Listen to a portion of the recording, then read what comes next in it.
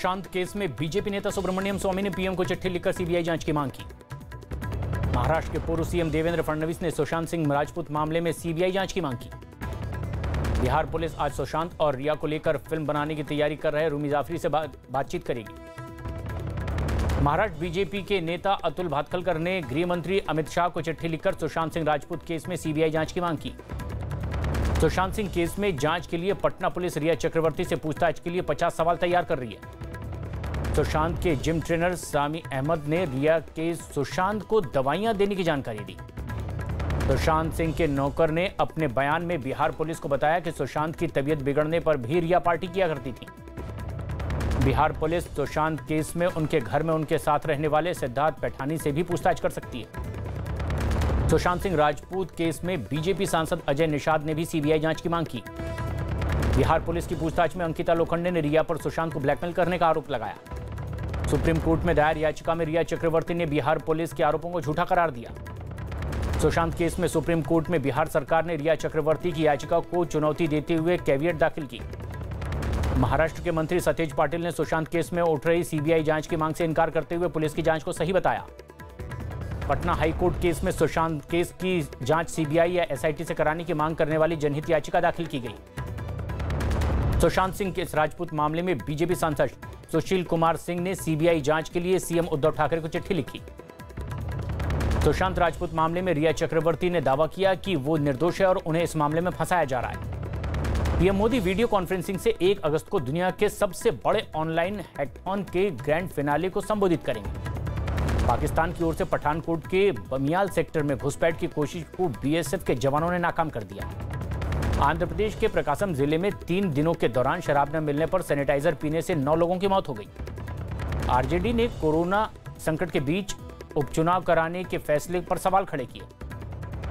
राजस्थान में अशोक गहलोत खेमे के विधायकों को आज तीन चार्टर्ड प्लेन से जयपुर से जैसलमेर भेजा जा रहा है। राजस्थान में गहलोत सरकार ने बीती रात सत्तानवे आरएएस अफसरों के तबादले कर दिए। अयोध्या में राम मंदिर के भूमि पूजन के लिए एक लाख ग्यारह हज़ार लड्डू के 111 थालियाँ तैयार करवाई जा रही हैं। दिल्ली समेत पाँच राज्यों में डॉक्टरों के वेतन न मिलने पर सुप्रीम कोर्ट ने केंद्र और राज्यों से सरकार से जवाब मांगा है। देश में 24 घंटे में कोरोना के पचपन हज़ार से ज़्यादा नए केस आए। भारत में कोरोना के मरीजों की संख्या 16 लाख के पार पहुँच गई पिछले 24 घंटे में कोरोना के सात सौ उनासी लोगों की मौत हो गई कोरोना मामले में दिल्ली में अब नवासी दशमलव शून्य सात प्रतिशत मरीजों के ठीक होने के बाद पहली बार टॉप टेन की लिस्ट से बाहर हुई। दिल्ली में स्वास्थ्य मंत्री हर्षवर्धन ने कोरोना पर मंत्रियों समूह की बैठक की। नौसेना में फर्जी बिल के ज़रिए घोटाला करने के मामले में सीबीआई ने आज चार राज्यों में तीस ठिकानों पर एक साथ छापेमारी की प्रियंका गांधी वाड्रा गुजरात के अपने नए मकान में, माफ़ कीजिए, गुरुग्राम के नए मकान में शिफ्ट हो गई हैं। ग्रामीण अर्थव्यवस्था पर बांग्लादेश के नोबेल पुरस्कार विजेता मोहम्मद यूनुस ने राहुल गांधी से बातचीत की। भारत ने 24 घंटे के भीतर 6 लाख से ज़्यादा कोरोना टेस्ट करके नया रिकॉर्ड बनाया है। कोरोना से मौत के मामले में भारत इटली को पीछे छोड़कर अब दुनिया में पाँचवें नंबर पर पहुँच गया है। राम मंदिर भूमि पूजन के मौके पर अयोध्या के लिए घरों की छतों पर जवानों की तैनाती की जाएगी महाराष्ट्र में नासिक के त्र्यंबकेश्वर से पवित्र गोदावरी का जल और मिट्टी अयोध्या के लिए भेजी गई। दिल्ली हाईकोर्ट ने दिल्ली अल्पसंख्यक आयोग के पूर्व अध्यक्ष डॉक्टर जफरुल इस्लाम को देशद्रोह की एफआईआर के संबंध में अग्रिम जमानत दी। पश्चिम बंगाल के हुगली नदी में कोयला लदा जहाज़ बीच से टूटकर पानी में डूब गया। उत्तर प्रदेश में पिछले 24 घंटे में कोरोना से तीन हज़ार सात सौ पैंसठ नए मामले सामने आए, जबकि इस बीमारी से एक दिन में ही सत्तावन लोगों की मौत हो गई। राजस्थान में गहलोत सरकार ने 1 सितंबर से सभी धार्मिक स्थलों को खोलने का फैसला किया। है भारत में छह महीने के भीतर ही देश में 16 लाख कोरोना के केस हो गए कॉलेज के फाइनल ईयर परीक्षा कराने पर सुप्रीम कोर्ट ने से आज कोई जवाब नहीं आया है। इसके बाद यूजीसी ने छात्रों को तैयारी पूरी रखने के लिए कहा है। तेलंगाना के नारायण खेड़ा में कोरोना मरीजों को आइसोलेट करने के लिए उन्हें शमशान में रखा गया है। तीन तलाक को खत्म करने का कानून बनाने के एक साल पूरे होने पर केंद्रीय मंत्री स्मृति ईरानी ने मुस्लिम महिलाओं से बातचीत कोरोना महामारी के मद्देनजर दिल्ली हाईकोर्ट में 14 अगस्त तक अदालतों के कामकाज फिर निलंबित करने का फैसला किया गया। वाराणसी में कोरोना के बढ़ते मामलों के बीच एक सौ बहत्तर नए केस आने के बाद पीएम मोदी का संसदीय कार्यालय भी सील किया गया। दिल्ली सरकार ने दिल्ली हिंसा सुनवाई के लिए सॉलिसिटर जनरल समेत तीन एडिशनल सॉलिसिटर जनरल को शामिल कर वकीलों का पैनल तैयार किया। उत्तर प्रदेश सरकार ने नए आदेश के मुताबिक अब गाड़ी चलाते समय फ़ोन पर बात करने पर दस हज़ार रुपए का जुर्माना लगेगा। कानपुर मुठभेड़ केस में जाँच पूरी हो गई है जिसके बाद एसआईटी अपनी रिपोर्ट यूपी सरकार को सौंपेगी। दिल्ली हिंसा मामले में आरोपी और कांग्रेस के पूर्व पार्षद इशरत जहाँ की याचिका दिल्ली हाईकोर्ट ने खारिज कर दी। महाराष्ट्र में एक दिन में कोरोना के 9,211 नए मामले सामने आए इसके साथ ही प्रदेश में कुल मरीजों की संख्या चार लाख के पार हो गई।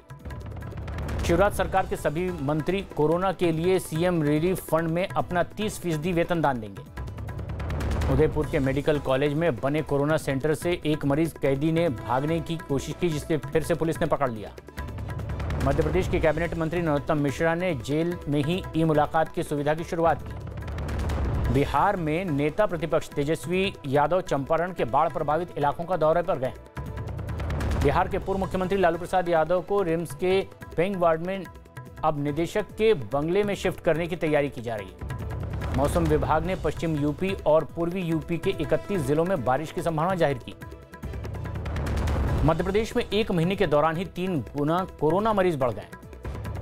मध्य प्रदेश के गृह मंत्री नरोत्तम मिश्रा ने कोरोना के केस बढ़ने के बीच ही कुछ ही दिनों में हालात काबू में होने की भी बात कही। यूपी के चंदौसी में एक व्यापारी की हत्या के बाद कांग्रेस ने सरकार से उसे न्याय दिलाने की मांग की। बिहार में लालू यादव के समधी चंद्रिका राय कोरोना पॉजिटिव हो गए हैं, जिसके बाद उन्हें एम्स में भर्ती कराया गया है। यूपी के मथुरा में दसवीं के छात्र ने कॉलेज में खुदकुशी की और उसके बाद परिवार वालों ने पुलिस पर लापरवाही का आरोप लगाया। रायपुर में पुलिस के इकतीस जवान एक साथ कोरोना पॉजिटिव हो गए। यूपी के अलीगढ़ में हुई मुठभेड़ में एक बदमाश जख्मी हो गया, जिसके बाद उसे अस्पताल में भर्ती करवाया गया। छत्तीसगढ़ के सुकमा में सीआरपीएफ जवान को रेप के आरोप में गिरफ़्तार किया गया। कानपुर के संजीत हत्याकांड में लापरवाही बरतने के आरोप में निलंबित इंस्पेक्टर रंजीत राय का अपराधियों के साथ डांस करने का वीडियो सामने आया। मध्य प्रदेश के रतलाम में दो बदमाश दिन दहाड़े एक बुज़ुर्ग महिला के गले से चेन लूटकर फरार हो गए। मणिपुर के सीएम एन बीरेन सिंह ने एक आतंकी हमले में शहीद होने वाले असम राइफल्स के तीन जवानों को श्रद्धांजलि दी। हैदराबाद में एक शख्स ने छह लाख सड़सठ हज़ार रुपए का बिजली का बिल मिलने की शिकायत की। गुजरात के मोरबी में युवक कांग्रेस अध्यक्ष देवेंद्र जडेजा के घर पुलिस ने छापा मारा, जहाँ जुआ खेला जा रहा था। विशाखापट्टनम में एक प्रेमी ने, प्रेमिका ने अपने बॉयफ्रेंड के मकान से ही छलांग लगाकर खुदकुशी कर ली। केरल के मल्लापुरम ज़िले में पहला मोबाइल कोरोना टेस्ट सेंटर शुरू करने की तैयारी पूरी हो गई। नवी मुंबई में पुलिस ने पत्नी के कत्ल में एक शख्स को उसके साथी के साथ गिरफ़्तार कर लिया है। त्रिपुरा बोर्ड के दसवीं और बारहवीं के नतीजे घोषित कर दिए गए हैं, जिसमें दसवीं के नतीजे उनचास दशमलव सात छह फ़ीसद रहे। कोरोना के बावजूद कर्नाटक में एक अगस्त से रविवार का लॉकडाउन खत्म कर दिया गया, मगर रात में कर्फ्यू जारी रहेगा। केरल में सरकार ने आज बकरीद के त्यौहार पर लोगों को खुले में नमाज़ अदा करने की इजाज़त नहीं दी।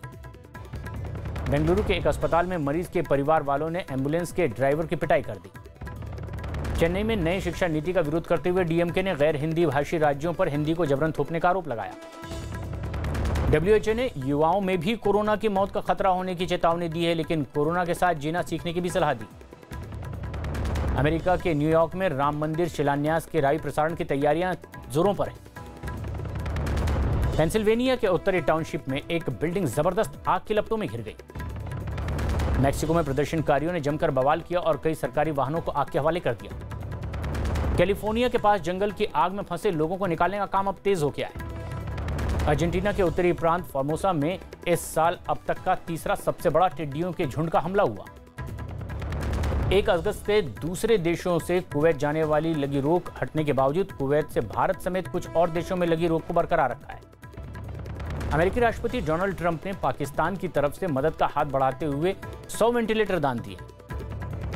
अमेरिका के फ्लोरिडा में एन नासा ने एक रोवर को लॉन्च कर दिया है जो अगले साल फरवरी में मंगल पर लैंड करेगा। अफ़गानिस्तान के लोगार प्रांत में आतंकियों ने एक कार में बम से धमाका कर दिया, जिसमें आठ लोगों की मौत हो गई। धमाके के पीछे तालिबान का हाथ बताया गया। अमेरिका के ओरेगन में नदी में फंसे दो लड़कियों को हेलीकॉप्टर की मदद से बचा लिया गया। 2020 की पहली तिमाही में रिलायंस इंडस्ट्रीज़ का मुनाफा 31 फ़ीसदी बढ़ गया है। केंद्र सरकार ने चीन से आने वाले सैकड़ों करोड़ के कलर टीवी के निर्यात पर रोक लगा दी। सरकारी कंपनी आरईसी की इकाई आरईसी पावर डिस्ट्रीब्यूशन लिमिटेड ने जम्मू कश्मीर में स्मार्ट मीटर परियोजना में हुए चीन के करार को तोड़ दिया है। सुप्रीम कोर्ट ने बी एस फोर नामक वाली गाड़ियों के रजिस्ट्रेशन पर आज पाबंदी लगा दी। वर्ल्ड गोल्ड काउंसिल के मुताबिक भारत में इस साल सोने की मांग में रिकॉर्ड गिरावट दर्ज की गई। कोरोना की वजह से अप्रैल से जून की तिमाही में अमेरिका की अर्थव्यवस्था में 33 प्रतिशत की गिरावट दर्ज की गई। बड़ा साइकिलिस्ट बनने का सपना देखने वाले रियाज को बकरीद से ठीक पहले ही राष्ट्रपति रामनाथ कोविंद ने नई साइकिल का तोहफा दिया। क्रिकेटर हार्दिक पंड्या की मंगेतर नताशा ने वडोदरा में बेटे को जन्म दिया। आईपीएल का फाइनल मैच 8 नवंबर की जगह 10 नवंबर को हो सकता है, हालाँकि इस पर आखिरी फैसला रविवार की बैठक में होगा। फ़िल्म अभिनेता अभिषेक बच्चन ने एक विदेशी का हिंदी फ़िल्म का गाना गाने वाला वीडियो ट्वीट किया है। विद्या बालन की फ़िल्म शकुंतला देवी आज ऑनलाइन प्लेटफॉर्म पर रिलीज़ कर दी गई।